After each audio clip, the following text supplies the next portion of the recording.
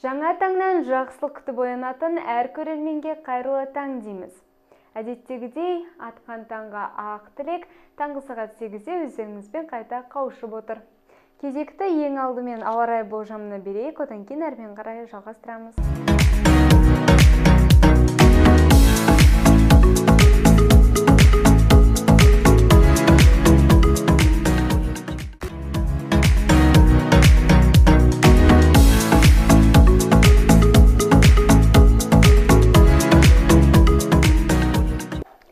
Тамаша ал келесі кезекте біз өзіміздің сұхбатымызды жалғастырамыз.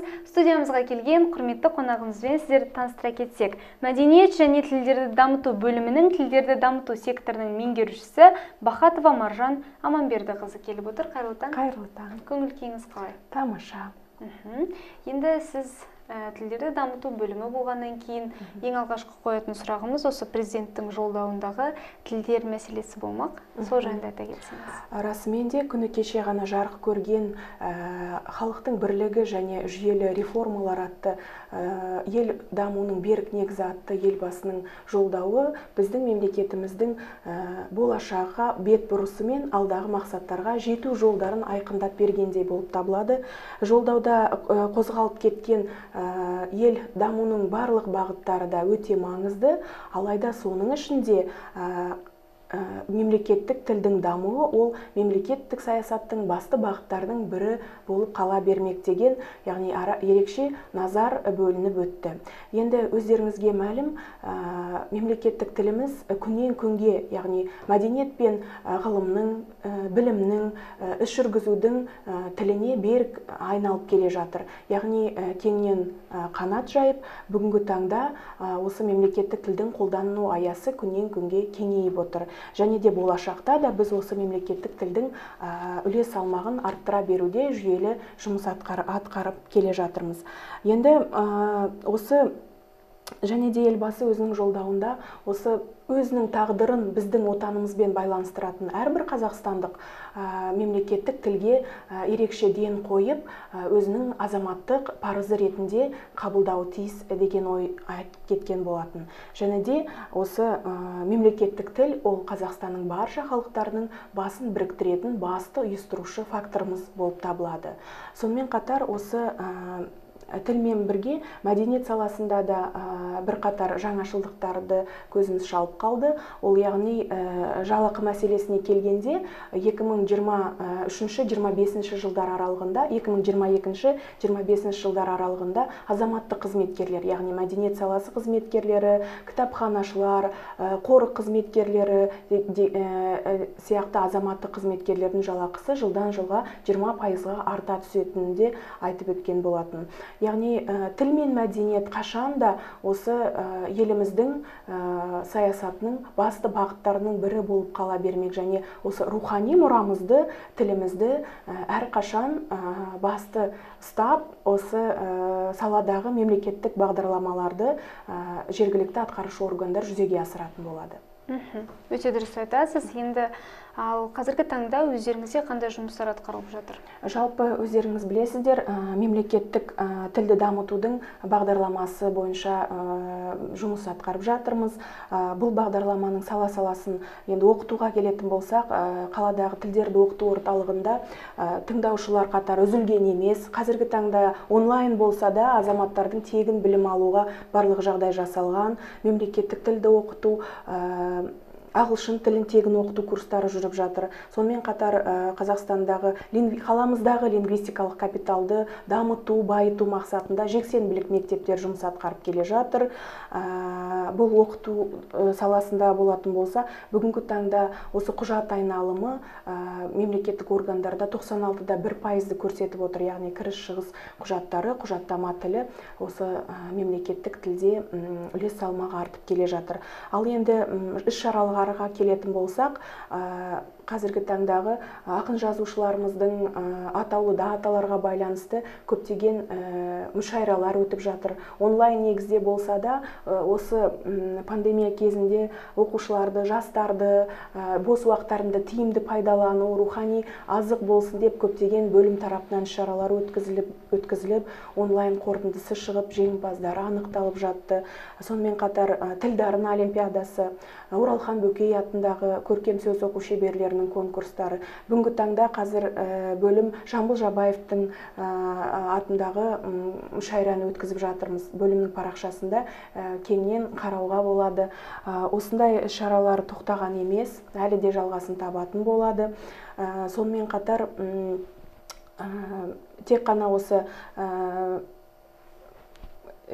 тек қана іс шаралармен қатар көптеген онлайн семинарлар жүргізілді. Яғни бұл жерде мемлекеттік тілде іс жүргізу саласына байланысты көптеген тақырыптар қамтылып өтті. Сонымен қатар енді латын әліпбиіне қатысты өзекті мәселелер де талқыланып жатыр. Осындай шараларды бөлім өткізіп жатыр. Енді міне дәл осы уақытта өздеріңізге белгілі тамыз бен қыркүйек айларында жылда дәстүрлі түрде қазақстан халқының тілдері күні аталып өтеді. Бесінші қыркүйек ахмет байтұрсынның туған күні бізде қазақстан халқының тілдері күні ретінде аталып өтіп жатыр. Осы айлық аясында да жексенбілік мектептердіңдегі мерекелер сонымен қатар басқа да іс шаралар көбірек өтті. Және де тағы да бір айта кететін мәселе осы тек қана іс шаралармен тоқталмай өздеріңізге белгілі үнемі өзгерісте болатын кейде бір қиындықтар да туғызып жататын ол көрнекі ақпараттар. Яғни біздің қаламыздағы жарнамалар мәселесі де ә, кейбір кезде айтылып жатады. Өйткені ол үнемі көз алдымызда ә, кейбір азаматтар өздері біздің бөлімге телефон шалып хабарласып жатады. Біз енді осы тарапында бүгінгі күні ә, көбірек жұмыс атқарып жатырмыз. Сауатты жарнама сауатты тіл деген айдармен осы бөлім қызметкерлері болып ә, еріктілер тобы құрылды.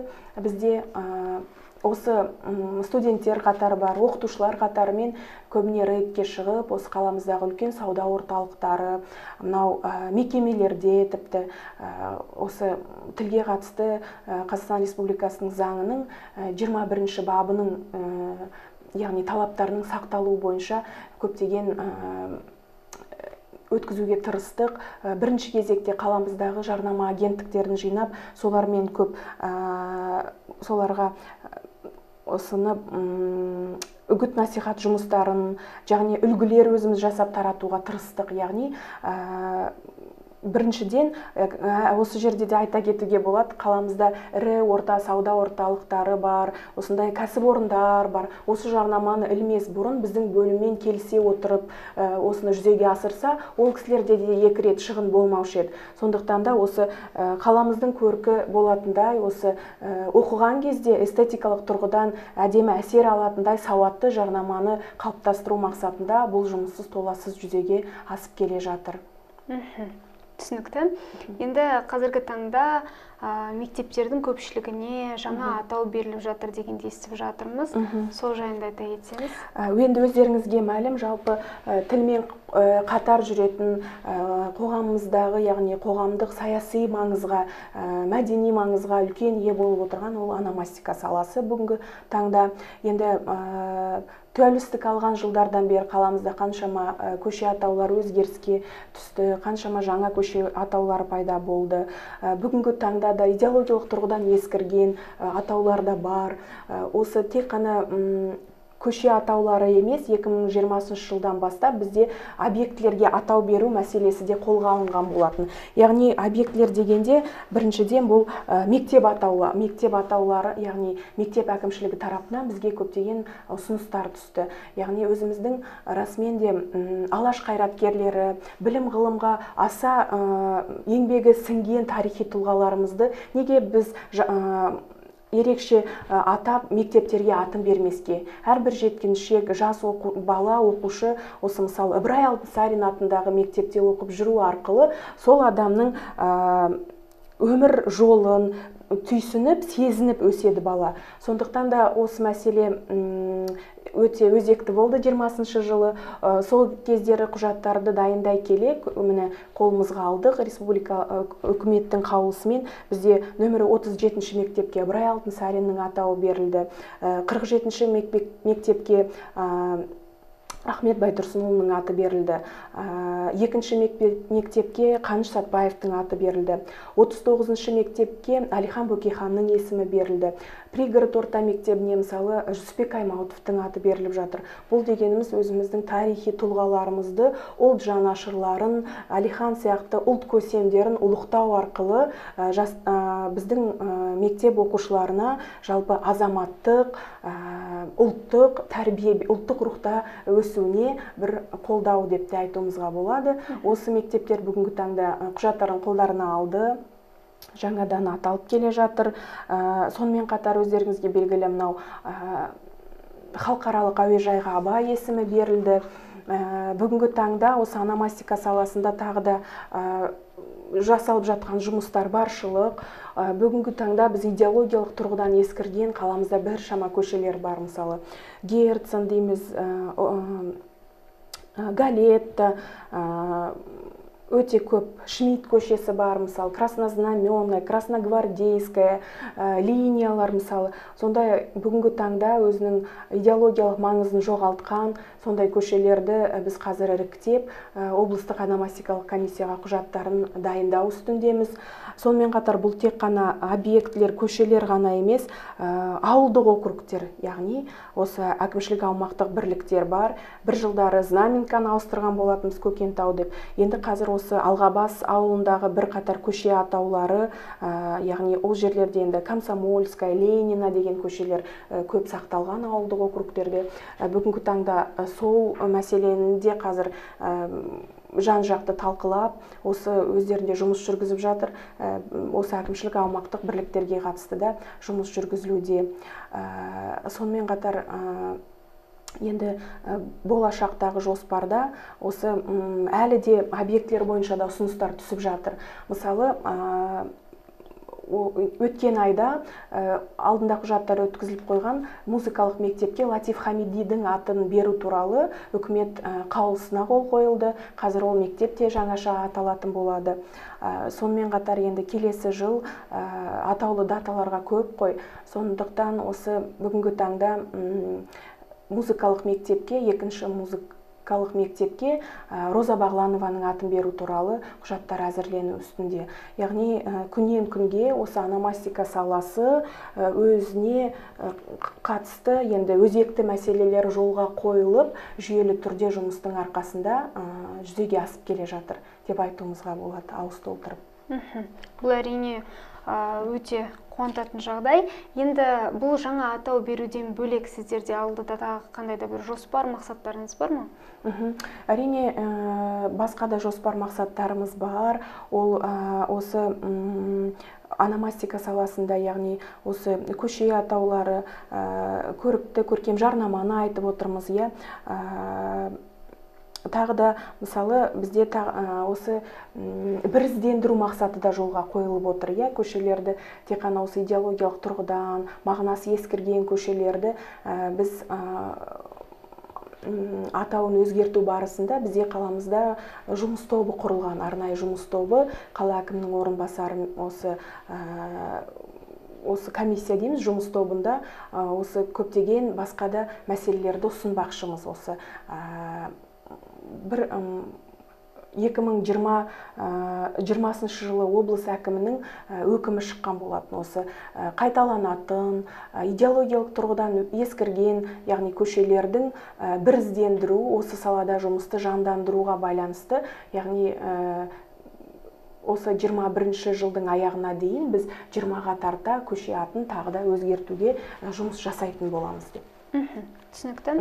Енді сіз жалпы ә, тілдерді дамыту бөлімінде істегеннен кейін тілдің қадірін білетін адам болғаннан кейін өзіңізге жеке сұрақ қояйыншы. Жалпы ә, жастар өзінің сауаттылығын арттыру үшін не істеу керек? Тілге қатысты сауаттылықты арттырудың енді мен өзім ойлаймын ең бірінші ә, дүние ол тек мемлекеттік қызметкер еді азаматтық позициям. Жастар көп әдебиет оқу керек қазақ тілінде. Өйткені өзімізде ата анамыз жалпы осы конкурстарды өткізу барысында мысалы тіл дарын конкурсы тіл шебері тілге қатысты конкурстарды ұйымдастырамыз ғой. Сонда студенттердің жас ұстаздардың өзінің тіл байлығының мемлекеттік тілде көсіле сөз сөйлеу байлықтары біраз енді аз төмендеу деп айтуымызға болады иә? Ә, жоқ емес бар бірақ та ә, осы кезде көркем әдебиеттің маңызы өте зор. Енді бүгінгі қазіргі заман ол ақпараттық даму ғасыры барлығымыз смартфон мен планшеттен түспей жатады ғой жастар. Бірақ та анау әлемді ә, телевизор қараған бала емес кейін кітап оқыған бала басқаратын деген сияқты ә, ең бірінші жастар өз болашағында яғни интеллектуалдық тұрғыда мен осындай жан жақты дамыған білімді тұлға болам деген енді әрбіреуінде мақсат бар ғой. Ең бірінші дүние бұл көркем әдебиетті ә, мемлекеттік тілде оқу. Осы өте маңызды. Ол тіпті мысалы қазіргі таңдағы мамандар бізде маман жетіспей жатады ғой. Жарайды бұл басқа мәдени саласында болсын. Ал ә, осы IT технологиялар саласында информатиктер физика жағынан иә мысалы ядролық ә, мамандықтарда қазақ тіліндегі мамандарға сұраныс көп бірақ та маман жоқ.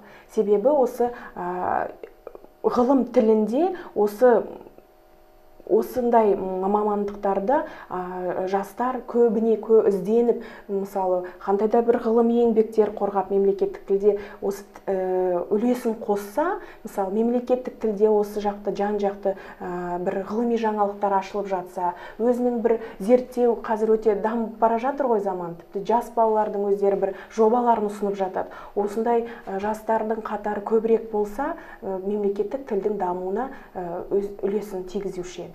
Бұл және де әрбір қазақстандықтың ойында жүретін бір енді ойында әрдайым жүретін бір ой тілек болуы тиіс сияқты болып тұрады. Енді жалпы қазір өзіңіз айтып жатырсыз ата анамыз деп. Мектепте ә, жаңағы қазақ тілі сабағының әдебиет сабағының сағаттары қысқарып қалған. Оның орнына басқа да ә, сабақтар басқа да логикалық сабақтардың ә, саны артқан екен. Бұл болашақта өзінің қандай да бір зиянын тигізеді деп ойлайсыз ба? Жалпы негізі қандай да реформа болмасын білім саласында болсын мәдениет саласында болсын экономика саласында болсын реформа ол қашанда өзінің бір жаңалығы өзгерісін алып келеді. Егер де мектептерде қазақ тіл сабағының орнына мысалы қазақ тіліндегі логика немесе математика сабағы сағаты қосылса бұл қуант бұл бір өкінішті дүние деп ойламаймын. Себебі бала бізде жалпы осы қазақ тілін оқытудың методикасы сәл ә, қиындау. Өздеріңіз білесіз қарап тұрсаңыздар кішкентай баланы ағылшын тілін тезірек алып кетеді. Себебі бізде көп ережелер мен методикасы сәл ауырлау. Сондықтан да бұл мүмкін тың көзқарас мысалы қазақ тілін логика арқылы баланың ойлау қабілетін осы қазақ тілінде дамытуға менің ойымша өте үлкен үлес тигізеді. Сол жан жақты біз методикаларды қарастырып келе әлі де бір үздік методикаға жетеміз деген мен үміттемін. Түсінікті. Енді біздің тұрақты көрермендерімізге айтатын ыстық лебіз тілектеріңіз болса.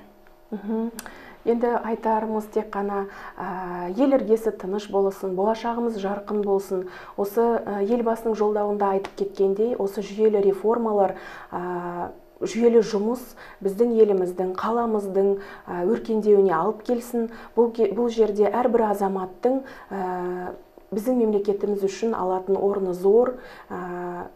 Осы тәуелсіздігіміз тұғыры биік болып көк туымыз биікте желбірей берсін. Айтқаныңыз келсін. Сізге де уақытыңызды бөліп келіп бізбен осылай сұхбаттасып ақпараттарыңызбен бөліскеніңіз үшін шын жүректен алғыс айтамыз. Жұмысыңызға тек табыстар тілейміз. Үлкен рахмет